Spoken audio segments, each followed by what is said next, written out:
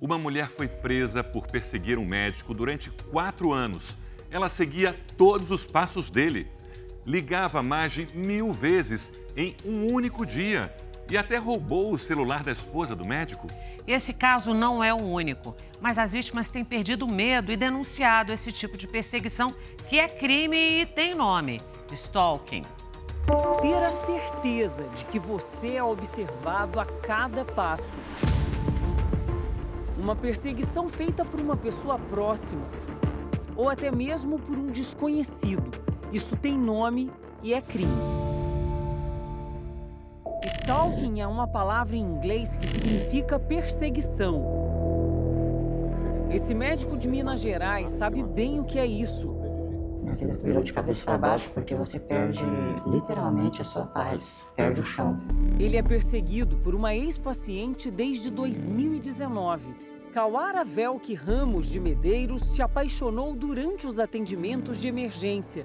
Um amor não correspondido ela começou falando assim: uma pessoa não salva a vida do outro três vezes assim do nada, que alguma coisa tinha de espiritual entre nós dois.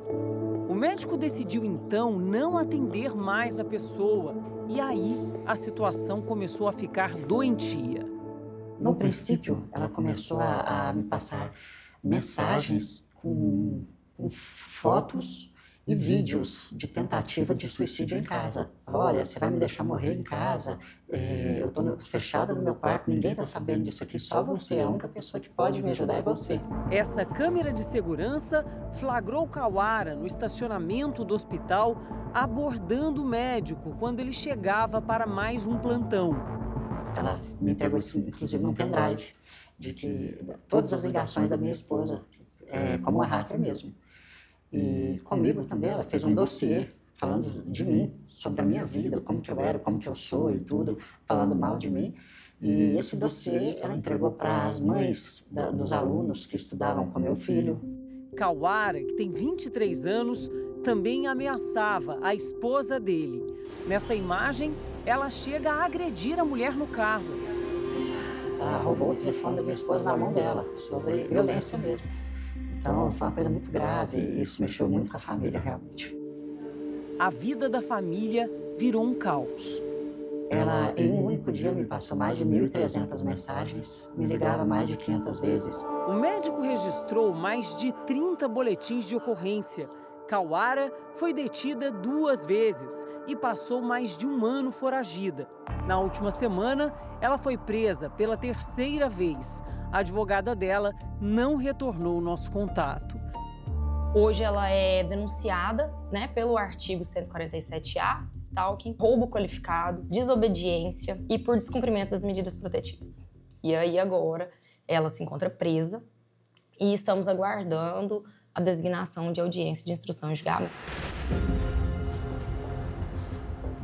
Nunca imaginei que isso pudesse acontecer comigo assim, dessa maneira. Essa outra vítima, que também não quer se identificar, foi perseguida durante seis anos por Josimar Alves da Silva, um ex-funcionário do condomínio onde morou.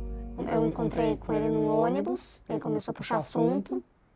Eu não liguei é, o rosto dele ao aquele funcionário da época, né? E aí quando eu fui descer do ônibus, ele veio descer atrás de mim.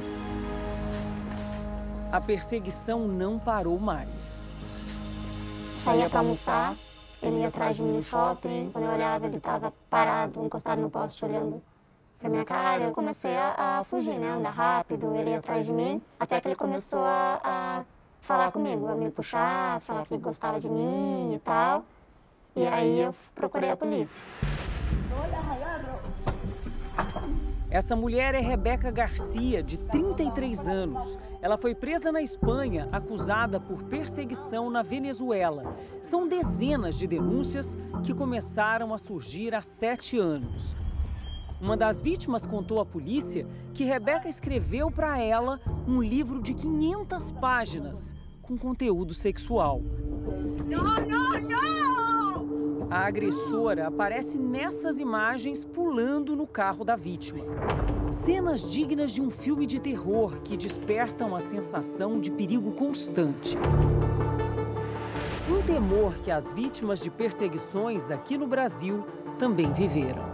Era um, um estado de tensão o tempo todo. Durante esse período, familiares e amigos se solidarizaram com a situação e passaram a fotografar Josimar na rua. Foram sete boletins de ocorrência. Em 2019, o homem chegou a passar três meses na cadeia.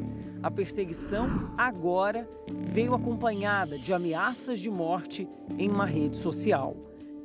Até então, só andava na rua, seguia, parecia uma coisa mais inofensiva, né? Você não tem noção de que isso é, é um crime, que, né? Aí quando ele fez essas ameaças que eu percebi, assim, que poderia virar uma coisa mais, mais séria, né? Depois de mais uma denúncia, ela conseguiu uma medida protetiva. Josimar Alves da Silva foi preso novamente. A defesa dele não foi localizada. Se a perseguição está atrelada a um caso de violência doméstica, que é a maioria, ela pode pedir uma medida protetiva baseada na Lei Maria da Penha. Ter essa sensação que está sendo observado e receber várias mensagens por dia nas redes sociais de elogio ou crítica nos dias de hoje pode ser normal. Mas ser seguido 24 horas por dia, alguém assim que pareça uma sombra, é diferente. Essa perseguição contínua, insistente, pode refletir problemas psicológicos graves que afetam a saúde física e emocional de vítimas e também perseguidores.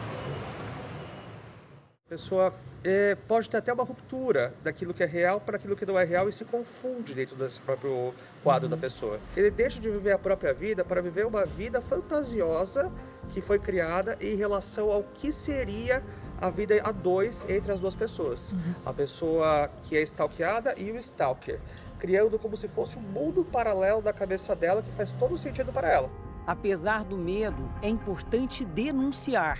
É importante tomar coragem. Às vezes é difícil, às vezes você fala e as pessoas não te acolhem bem, parece que você quer uma besteira ou que está querendo parecer e tal, mas é importante denunciar. O tempo de cumprimento de pena vai até dois anos, mas isso não é nem mais o, o mais importante, e sim as medidas que a vítima pode obter a partir da classificação do ato dessa pessoa como uma perseguição.